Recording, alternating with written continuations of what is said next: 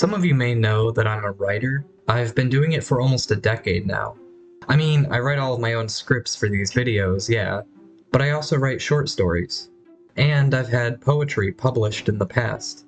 I was looking for a tool to help write, free of distractions. I mean, computers are annoying when you're trying to write.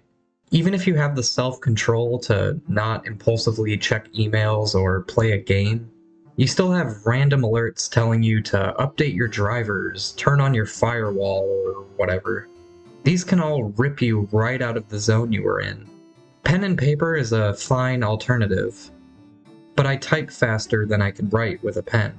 And having to type out what you just wrote on paper is time consuming. There's a device called the FreeWrite by Astrohaus, which you can only type on no emails, no gaming, no messaging. It's just a word processor. But it's $300 minimum for used ones on eBay. And the reviews say that it's not even good for what it's supposed to be. There's an input lag between what you type and what shows up on the screen. The developers stopped supporting the older models, forcing you to purchase the newer ones. And apparently the battery life is not that great, one review said that they use their FreeWrite exclusively as a paperweight now. So, through all of the research I did into trying to find a distraction free writing tool, one device kept popping up as recommendations the AlphaSmart Neo 2. So, I bought one. And this thing is fantastic. It doesn't have a backlit screen like the FreeWrite, nor does it automatically sync what you're writing with Google Docs, but it does what it's supposed to do, and it does it perfectly. You can type on it, and that's it, which is exactly what I was looking for. You write your story, a draft at least, or most, with zero distraction. It's just you and your writing. You get into a flow, you let everything out. Then, when you're ready, you plug it into your computer via a simple USB. There's no fancy or pricey software, and the Neo sends whatever file you choose over to your computer for editing. It's as simple as that. You stick three AA batteries into this thing, and it will last for months before needing replacements. It's durable, portable, and relatively affordable. I mean, I would bring this thing to places where I would never bring my laptop. Like I would I would write on this thing on like a park bench somewhere. Whereas I wouldn't do that with my laptop out of fear of it being stolen. This thing is relatively affordable compared to the free FreeWrite's $300 plus price point at least. I got this one for $100 on eBay. And when it arrived, I was so excited. But before banging out a first draft of this story idea I've had bonking around my brain for a while, I decided to see if there was anything already written on the Neo. And being a nearly 30 year old used device, of course there was. Bob ran away. After church and eating with Barbara's cow family. Bob is going to New York with a cow named Barbara. When Bob and Barbara got to New York, they found a shop at the gas station. Sorry, gas staston. the only disguise that he can have was a spy disguise. The only one that was in his size. Oh, it actually rhymes. Bob bought out a disguise for six dollars. The disguise was a spy costume. The spy Kapinin what fell for it fell for it, so now Bob is a spy. And were lots of disguises. The the spy costume has sunglass, white and black suit on.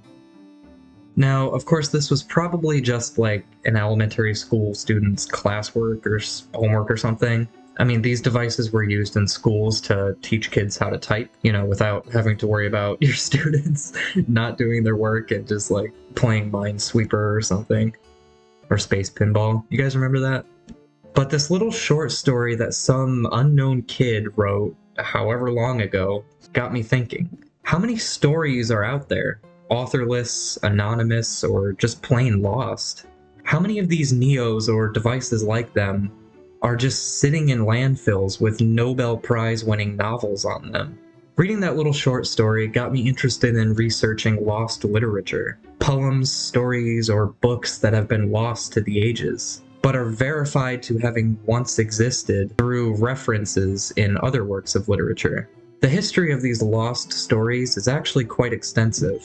From lost poems referenced in the Odyssey to Terry Pratchett's unfinished works being destroyed after his death, his last wish was fulfilled by having a steamroller run over his computer. Fucking wild. These two examples open up a wide array of reasons for writings being lost. Demodocus's poem referenced in the Odyssey was most likely only spoken aloud, just like a lot of poetry from that era was and lost in the same way that languages are lost. It simply stopped being spoken. Whereas Pratchett's unfinished works were deliberately destroyed. Writing or art in general is incredibly fragile, more fragile than I imagined before. Now, granted, being in the computer era, it's very hard to actually lose anything. You can wipe your hard drive clean and still recover bits and pieces of a story if you know what you're doing which is perhaps why Terry Pratchett resorted to a steamroller. And with the internet, you have an almost indestructible safe haven for documents. In the modern era, I'd argue that the only real way to lose your writing is to never write it. So I bought a tool to help me write, and that's fine and dandy, but I don't want to give the impression that you need something like this to write. A pen and paper worked for thousands of years before the typewriter was invented. And to new writers, if I may impart some wisdom, writing is not some magical experience where you're constantly in touch with your story. People who just get into writing, and I went through this too, expect it to come easy, or again to be this magical or meditative experience. This overly romanticized view that new writers have is, for the most part, false. Writing is hard work. Nobody writes a masterpiece in one go. It's drafts and editing upon drafts and more editing, and drafts and editing and drafts and editing.